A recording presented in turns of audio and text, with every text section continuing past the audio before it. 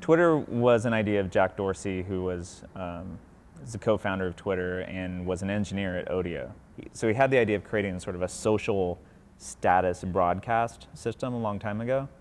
And at Odeo, we were we were toying with some new ideas, sort of in a brainstorm mode, actually, because we weren't in love with what we were doing, frankly. So um, one of the one of the areas we were focusing on was mobile. So one of the problems I saw with audio and podcasts was we needed to get to where is the most compelling or only interesting form of media, and that's not in front of the computer. That's like the original idea of podcasting when you're out and about, when you're when you're walking down the street or in your car.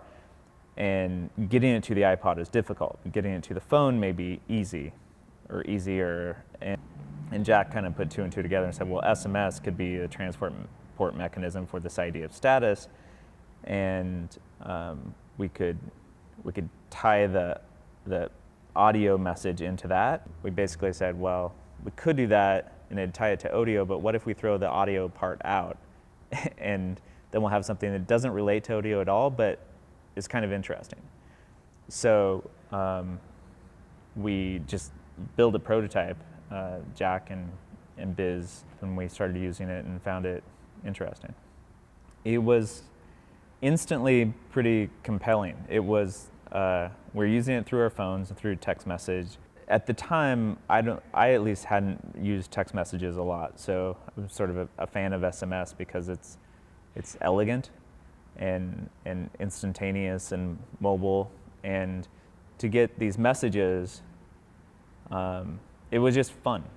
It's sort of the same. I think the endorphin rush that that drives a lot of the social activities on on the web and everywhere else uh, happened within this very simple, with this very simple mechanism.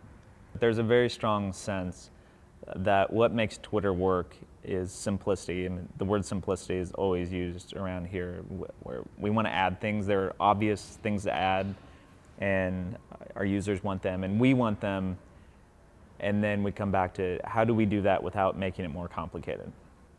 And that a lot of that goes back to SMS, I think, because it, there's sort of a philosophy. Well, it should work as well through SMS as anything else, because not just because SMS is that important, but because we've gotten so many hidden benefits, I think, from that simplicity, that we don't want to ever lose that. Our biggest de design challenge today is is really answering that question, because there are so many things that are um, that we really want to do now, and that seem obvious to do, but how do we do them and maintain the, the elegance that we have today? One of the other really important aspects of Twitter is, is that it's real time.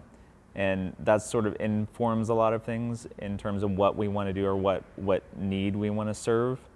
Is that how can we, we get information in people faster than um, anything else? And it's not in all cases, but in a lot of cases. And that even for the classic use of what are you doing, you hear from a friend or they're eating lunch at some restaurant and the, the uses that people point to as trivial um, become non-trivial if you're if you consider the real-time aspect and that you care about the person sending it.